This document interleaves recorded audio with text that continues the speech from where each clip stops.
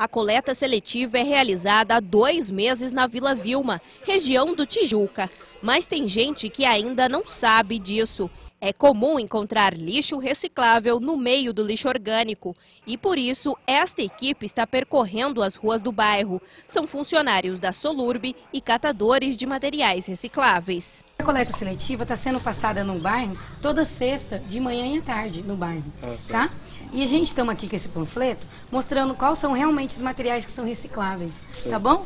Como uma sugestão que eu dou para o senhor. Tem um leitinho ali no lixinho, que ele também pode ser reciclável. Tem um pet ali jogado, tá bom? Aqui no bairro não- geralmente não passava mesmo, passava só lixeiro, mas agora sabendo que eles vão começar a passar, eu vou começar a separar. A ação faz parte do projeto Dê a Mão para o Futuro, da Associação Brasileira da Indústria de Higiene Pessoal, a ABPEC. Ana Cláudia trabalha na usina de triagem há nove meses e enfrenta dificuldades na separação do lixo. A gente estamos com um volume do material que quando dá 10, 10, 10 e meia, a gente já está sem material. E depois o retorno desse material só é por volta das 14h20, 14h40.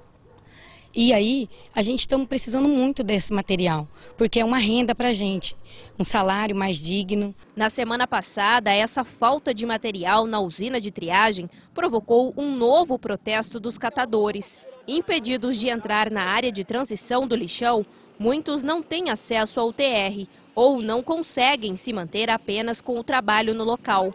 Os catadores também denunciaram a presença de grande material reciclável dentro do aterro sanitário. Segundo a coordenadora de educação ambiental da Solurb, isso acontece por causa da própria população. A maioria das pessoas hoje passa é, a coleta convencional, está colocando tudo misturado.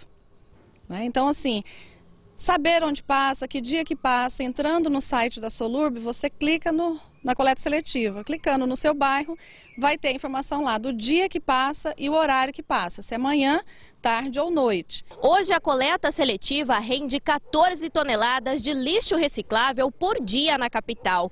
Pelo número de domicílios atendidos, a capacidade seria de 90 toneladas. E com essa ação nos bairros, o objetivo é atingir este número. Por enquanto, o serviço de coleta seletiva está disponível apenas para 46% da população de Campo Grande. Não dá para ir aumentando se a gente não fizer bem onde já estamos fazendo. né? Então, nós temos o potencial aí né, de 105 mil domicílios de estar encaminhando para as cooperativas de catadores um volume realmente substancial para que a renda seja digna ao trabalho deles.